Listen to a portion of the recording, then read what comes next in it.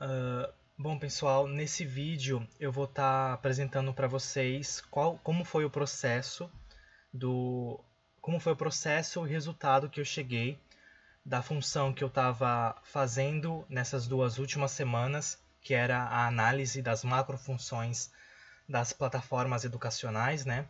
É... A função basicamente era analisar os similares e para a gente tentar descobrir mais para frente o que, que, cada plataforma faz muito bem que o OpenRedo pode aproveitar e o que, e o que, que cada plataforma faz ruim, faz de mal que o OpenRedo tem que evitar. Ou seja, é, a minha função como um todo era revirar o site inteiro, a plataforma inteira que estava analisando e acabar listando tudo isso, né? Essa, essa foi a, a lista das, das plataformas que eu analisei. Essa lista ela é diferente da lista inicial, da lista que eu mostrei para vocês na duas semanas atrás, né? Mas por que, que a lista mudou? Ela mudou por o seguinte, é, como eu já tinha conversado, existem muitas plataformas que não liberam acesso a, ao teste, né, à demo da plataforma, sem que haja toda uma burocracia aí. E evitando isso, é, como achei que seria desnecessário toda essa burocracia, aí eu acabei chegando nessa lista aqui. Eu também acabei, acabei adicionando e removendo alguns também, uh, por conta de ou a plataforma tinha pouco ou nenhum recurso a mais, ou nada mais para adicionar que os outros já não tinham mencionado. Tá? E por isso eu acabei tirando algumas e até mesmo adicionando algumas como foi o caso do Docebo. É, o que, que eu usei para analisar isso daí? Bom, eu, eu cheguei no site da plataforma, né, do, do site mesmo, acessei a versão demo e comecei a listar, como foi no caso aqui do Moodle. Eu entrei lá na plataforma deles, que está aqui nesse link, e eu comecei a listar aqui. Só que eu percebi que não era o método mais eficaz para fazer isso, né? E aí o que, que eu fiz? Eu comecei a gravar vídeo da minha tela, assim como eu estou fazendo aqui agora, de, te, de mim, de eu, de mim, sei lá, testando a, as plataformas, tá? Aí os vídeos estão por aqui, tá na, na pasta Design Team, desenvolvimento e acompanhamento, o meu nome, e aqui tá as plataformas, tá? Eu só não fiz o do Moodle porque eu já tinha essa ideia eu tive depois de, de, que, eu, de que eu analisei o Moodle, tá? É, bom, mas aí eu analisei todos esses daqui, essa, essas plataformas, né? Eu percebi nessa análise que existem dois tipos de plataforma, que são é, semelhantes com o OpenRedu e outras nem tanto, né? São aquelas plataformas que são mais relacionadas, as, as plataformas que são mais relacionadas com o OpenRedu são o Moodle, uh, o SkyPrep e o Docebo, tá? Que são plataformas onde você tem um acompanhamento maior do aluno né? Que você uh, não é como se você faz um curso e, e, acabou o processo de aprendizado. Não, essas plataformas têm um negócio super completo, tá? E também tem a segunda, o segundo tipo de plataforma, que é como o Talent, o Joomla e o Absorb, que são, como está descrito aqui, são é, plataformas mais para curso livre, mais focado em curso livre mesmo, como se fosse um Udacity ou Udemy da vida, tá? bom, vamos lá.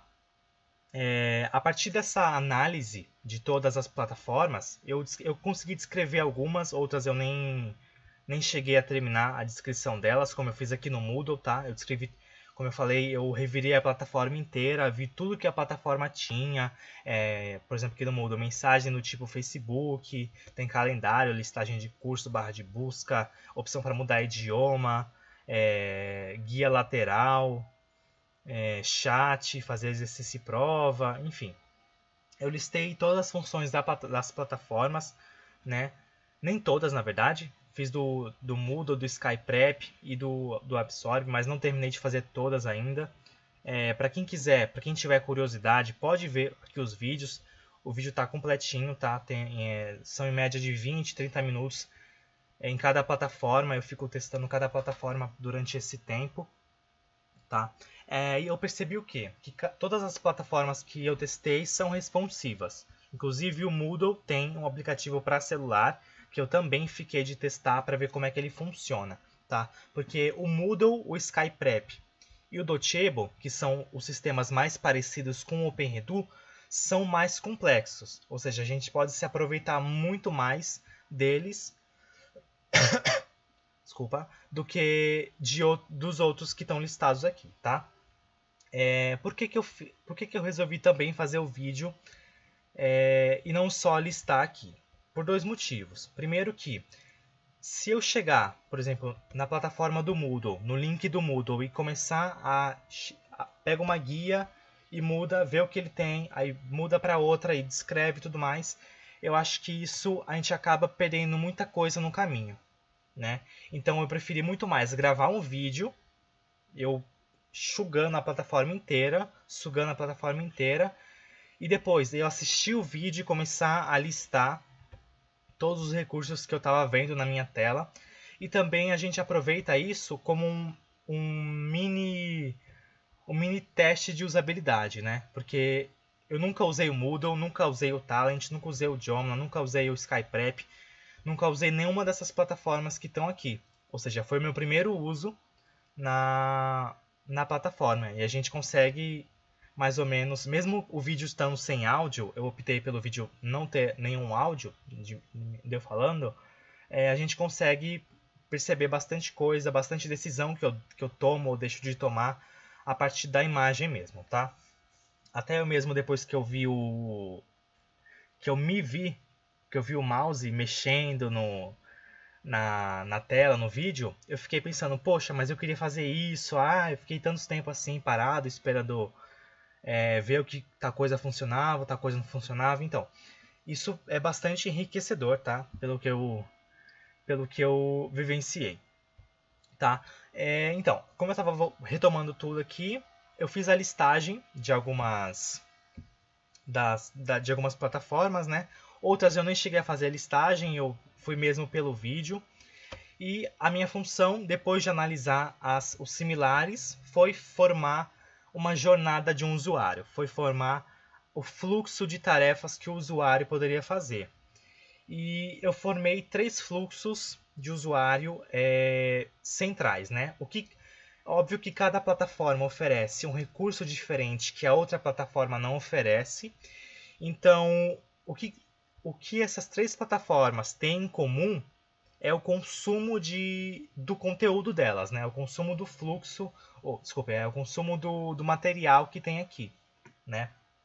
Todas as, as seis plataformas é, têm o objetivo de fazer com que um aluno conclua um curso e que um professor é, crie um curso. Ou seja, foi baseado nessas duas frentes que eu criei esses, esses fluxogramas. Tá? Começando pelo fluxo de o aluno concluir um curso. Base, é, a gente estou levando em consideração aqui que o aluno ele já tem acesso ao curso, ou seja, é, ele foi convidado por algum professor, por algum aluno, por e-mail, por link, enfim ele tem acesso a esse curso, ele já está é, matriculado, entre aspas, nesse curso, tá? Então, como é que vai ser? Aqui tem a página inicial mesmo, né? É, e na, na própria página inicial, lá tá listado os cursos. Na maioria das plataformas é assim, tá? Na página inicial mesmo, todos os cursos estão listados. No OpenRedu é um pouquinho diferente. No OpenRedu, é, a gente tem o feed mesmo, na frente e depois a gente tem os cursos uh, na aba lá, né? Bom, aqui tem os meus cursos, aqui vai para o curso e do curso mesmo específico, como por exemplo, aqui em meus cursos eu posso ter 200 cursos, posso ter curso de, sei lá, design sprint, curso de design thinking, enfim, curso de como fazer um fluxograma, que eu preciso fazer esse curso, inclusive, é, enfim, é, tem vários cursos, tá? Aqui é um curso de exemplo, vamos supor que esse curso aqui se chame curso de Design Sprint, tá? E eu cliquei nesse curso e eu tenho duas principais coisas. A primeira coisa que eu tenho são os módulos mesmo e o mural do curso, que é, é para compartilhar conteúdo, para tirar dúvida, falar com o professor, enfim, é, que a maioria das plataformas possuem, né? E para o aluno concluir esse curso, o que, que ele precisa? Ele precisa passar pelas, pelos módulos do curso que ele vai ler texto, ele vai assistir vídeo, ele vai fazer exercício, vai fazer, vai responder quiz, vai fazer muitas coisas que vão avaliar o aluno no final. E aí, uh, para o aluno concluir esse curso, ele precisa estar tá com todos os módulos feitos, ele precisa ter passado por todos os módulos. E o que acontece? Ele passou por todos os módulos? Se não, ele retorna para o módulo que ele deixou de, de fazer e aí sim ele conclui. Ah, ele fez todos os módulos? Sim, beleza. É, ele teve um bom desempenho na avaliação, é, na, enfim, no, no, método como que o professor deixou para o aluno fazer é, esse curso. O, o aluno conseguiu um bom desempenho? Sim, conseguiu, beleza. Então ele está aprovado. Não. Ah, que pena, né? Então está reprovado. Muitas plataformas elas permitem com que o professor habilite a função de o aluno refazer o curso inteiro a fim de dele conseguir a aprovação dele, tá? Mas é, não são todas as plataformas que permitem isso, então eu já coloquei logo que o aluno aqui está reprovado, tá? Esse é o fluxo do aluno concluindo um curso. Agora a gente vai para o fluxo do professor criando um fluxo.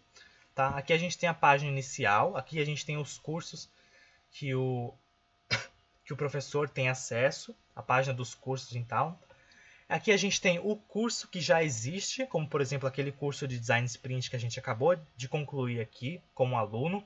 Vamos supor que é esse daqui, o curso de Design Sprint. E o professor, nesse curso, quando ele acessa a página desse curso, ele pode editar o curso, pode adicionar mais conteúdo nele e tudo mais, e também pode avaliar os alunos no curso, tá? É, e a partir da página de cursos principal, ele pode também criar um curso. É, como é que ele vai criar um curso? Primeiro que ele vai começar a preencher todas as informações do curso.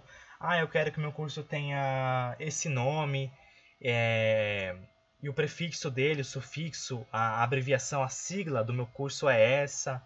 É, eu quero que o curso seja privado, ou seja, nem todas as pessoas entrem, nem qualquer um pode entrar.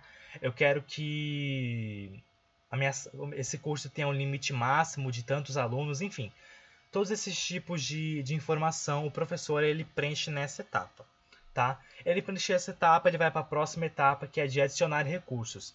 Ele vai adicionar texto, vai adicionar vídeo, vai criar exercícios, vai criar testes, provas para os alunos responderem. Após isso, ele já pode finalizar o curso dele. Bom, ele finalizou o curso? Finalizou. Ele pode publicar agora? Não, não finalizei e não quero publicar agora. Beleza, vamos lá vamos adicionar recurso, vamos preencher mais alguma informação aqui no caso, tá? Vamos editar alguma configuração que ficou faltando. Beleza. Ah, agora eu finalizei o curso, eu posso publicar agora? Posso. Tudo bem.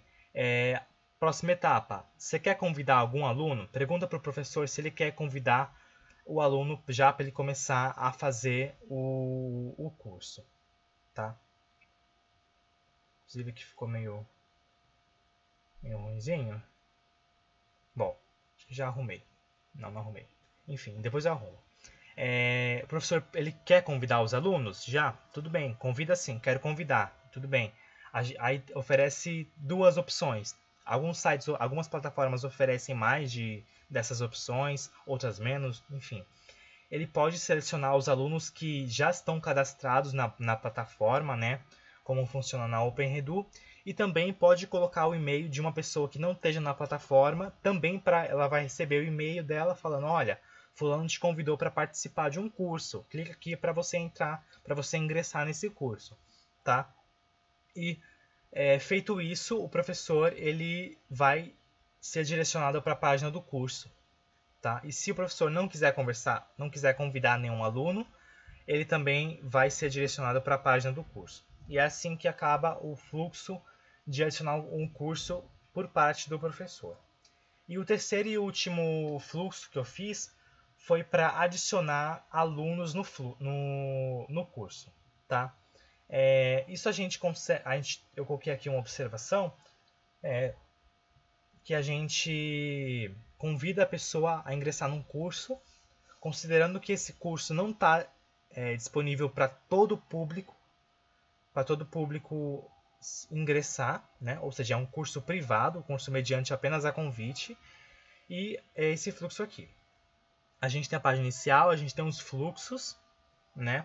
Que no caso a pessoa que já tem acesso vai fazer isso, ou seja, um professor que já tem acesso ao fluxo, ao curso, quer dizer, ou é, um aluno que já tem um aluno um professor que já tem acesso, acesso ao curso. Estou toda hora confundindo aqui fluxo com curso. Ele vai acessar a página que tem todos os cursos, vai acessar a página do curso que ele quer convidar uma pessoa e ele vai começar a entrar propriamente na, na função. Existem algum, algumas plataformas que não permitem que o próprio aluno convide outro aluno para participar do curso, tá? Que permite apenas que um professor ou que um tutor ou que um administrador no geral convide, tá? Mas também existem plataformas que permitem que o próprio aluno ele repasse aquele curso, que ele compartilhe aquele curso, tá? Então aqui tem dois fluxos, dois, dois caminhos que a gente pode seguir. É, a plataforma ela pergunta: é aluno? Bom, ok, é aluno. Os alunos podem convidar outros alunos? Não pode. Beleza, morreu aqui. Mas caso possa convidar outros alunos, a gente vai convidar o aluno e a gente pode compartilhar o link daquele curso, ou seja, por e-mail, ou a gente manda aquele link pelo WhatsApp, pelo chat do Facebook, pelo Messenger, por algum fórum, enfim, por algum lugar. Ou a gente também pode selecionar as pessoas da plataforma que já que já estão cadastradas na plataforma, ou a gente também pode digitar o e-mail de uma pessoa e a pessoa vai receber o e-mail avisando que ela já foi que ela foi é, convidada para participar de um curso. Mas voltando aqui, essa pessoa é um aluno? Não, não é. Pode ser um, pode ser um instrutor, pode ser um professor, pode ser um coordenador, tudo mais. Beleza, não é, é não é um aluno. Agora ela vai voltar para todo o procedimento que eu já tinha mencionado anteriormente. Aí sim ela já pode convidar é, um aluno, tá? Bom, é basicamente isso todo o trabalho que eu fiquei fazendo nessas duas semanas. Eu acredito que a partir de agora a gente vai conseguir tomar decisões muito concretas sobre quais caminhos a gente vai seguir, quais caminhos a gente vai deixar de seguir, o que, que a gente vai tirar de bom proveito dessas plataformas, o que, que a gente pode tirar, é, é, o que, que essas plataformas fazem que a gente não pode fazer, que, que é um problema, ou o que, que essas plataformas podem fazer, o que, que as, as, plataformas fazem e a gente pode fazer, tá? É, bom, é basicamente isso todo o, o que eu fiz essas duas semanas. Eu espero que vocês possam contribuir aqui nos vídeos, fazer algum comentário. Pode usar simplesmente, pode usar sim essa, esse, esse documento para fazer algum, algum comentário, tá? Se também quiser é, alterar é, esse fluxograma, eu acredito que seja possível também. Não sei se vai estar tá compartilhado para vocês fazerem alterações, eu acho que sim, viu? Mas então, se quiser fazer algum comentário no fluxograma, pode fazer algum comentário e tudo mais. Tá? Aqui tá é, a, a, contribuição de vocês é sempre bem-vinda, tá bom, gente? É, e quando eu voltar, eu vou fazer a. Eu vou ver o, a chamada de vocês para eu também ficar a par das coisas que vocês fizeram ultimamente, tá bom? Tchau!